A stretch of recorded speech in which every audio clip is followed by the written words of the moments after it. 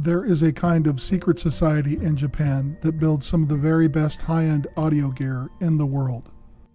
In order to get your arms around what is so special about this gear, you have to take note that Japanese audiophiles have been collecting the most valuable parts of the world's electronics history for many decades. If you wanted to hear a Western electric amplifier or Klangfilm speaker set, for example, you're much more likely to find it in someone's home in Japan than anywhere else in the world. Zanden's products use a combination of what was learned from these seminal vintage designs while using all the modern technologies available, but still rejecting the newest fads in high end design when they do not advance the gear's performance. Zanden uses expensive transformers and tubes in the gain stages. This is much more like something you would see in vintage pieces like Western Electric, and long since abandoned by other high end designers.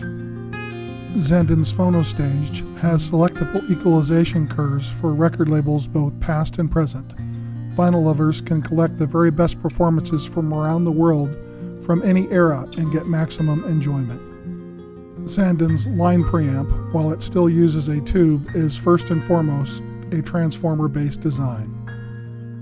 Zanden CD Transport sets new standards on what is possible for 16 bit Redbook audio, completely rejecting the latest 24 bit or DSD high resolution formats.